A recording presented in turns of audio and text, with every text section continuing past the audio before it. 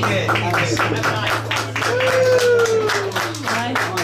have got that point well, actually. I had